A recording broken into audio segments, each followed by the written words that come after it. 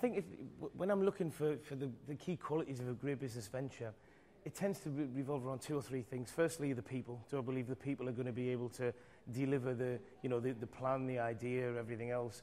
Do I also believe those people, if things get tough, are going to be able to drive through those tough times? Uh, the second thing is looking at the marketplace they're entering into.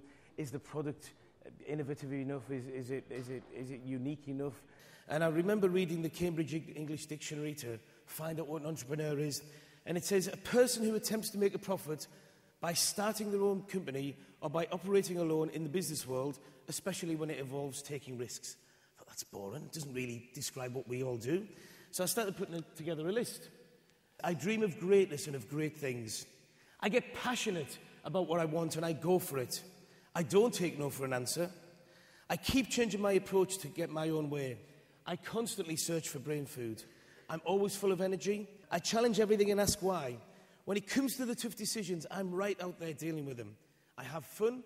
I have no fear. I always want to be liked. I like to create a team around me, and I always take risks.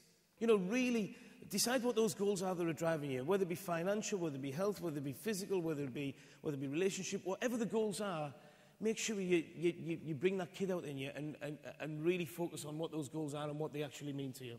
And then review and question on a weekly basis. You know, I still, to this day, once a week, I'll sit by myself, normally on a Sunday night, and I'll just look at what did I achieve last week. You know, was it, was it the things I wanted to? What did I screw up? What did I get wrong? What, what have I learned from that? Have I moved towards my goals? Are my goals still the same? You know, and investing that time in yourself has a major impact in terms of driving you and driving you onto every step of the way. You really must believe in what you're doing. You know, and, and one of the things, you know, belief for me is, is, is probably the most important aspect in today's challenging environment. The belief that you're going to get there. The, in some ways, almost a blind faith. You know, belief fuels passion, and passion is unstoppable. You know, if you really are passionate about getting there, you'll find a way. You'll keep on changing your approach. You'll, you know, like that eight-year-old, you keep on developing until you, until you get there. And there's one guarantee, things will always go wrong. But it's your belief, it's this blind belief in, in the tough times that makes you say, I don't know how I'm going to do it but I'm going to get there. And it's having the burning desire to succeed and the positive expectancy, the belief that no matter what, you're going to, you're going to succeed. Defining your destiny helps create belief. If you've, if you've, if you've, if you've really set, set where you want to go to and, you, and, and you're developing towards that, then that will really help you get there. A lot of our current economic challenges are created by negative belief. You just look at what's happening in the economy at the moment. People are being told how bad it's going to be, so they stop shopping. That has a spiral effect. Companies are worried, so they lay people off. Um, you know, and that, and that really hits, hits us at the moment. So, you know, belief is one of the most powerful tools, as we can see in today's economy, by the negative belief. You must choose that market wisely. You know, does it excite you? Are you, you know, if you're going to put all this passion in, all this energy, it's got to be something you get out of bed and want to do, and you want to go, and, you want to be involved in. Um, you know, the, you've got to look: is the market declining? Is it, is it, is it, is it changing? Changing marketplaces. It's one of the greatest opportunities we have. Um, do you understand the market? Can you build a great team around it? You know, what are the opportunities and what lies ahead? So, you know, that's looking at the marketplace and saying, okay, the market may be challenging, but what can you do differently? People, they're our biggest assets. You know, there's a great bit which is companies don't succeed, but people do. You've got to find the right people. You've got to develop them. You've got to communicate with them and never burn the bridges with those people. Again, in major growth, a big advantage we've got today, in major growth times, it can be hard to, to find or keep good people when everyone's worried, use it to your advantage. You can easily find great people and you can much more easily keep them.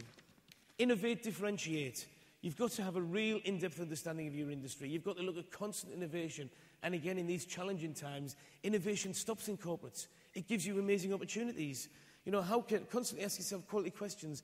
How can I keep on growing and keep growing my, my capabilities of the business? How, how can we innovate the business? I mean, there's some tremendous examples of, of innovation you know, Starbucks, Direct Holidays, Direct Line, all in industries that were already, um, that were already full. There is nothing replaces hard work. You know, you must put everything in. The, the, the, the, the difference between ordinary and extraordinary is that little bit extra. And there's a great quote on there which I love, which is good things come to those that wait, but only the things left by those that hustle. So, you know, go out there and hustle, go out there and look for the business. A lot of people will be giving up at the moment, and these are times when entrepreneurs can do better than anyone else and regularly have in history. Play hard and give something back. Because you've got to have fun. Because you've got to party, you've got to party with your team, you've got to make sure everyone enjoys it. And they give something back. You know, share your story with other people, motivate other people, help other people, and they give something back. You know, which I'll finish on my favourite quote, which is, "We make a living by what we get, but we make a life out of what we give."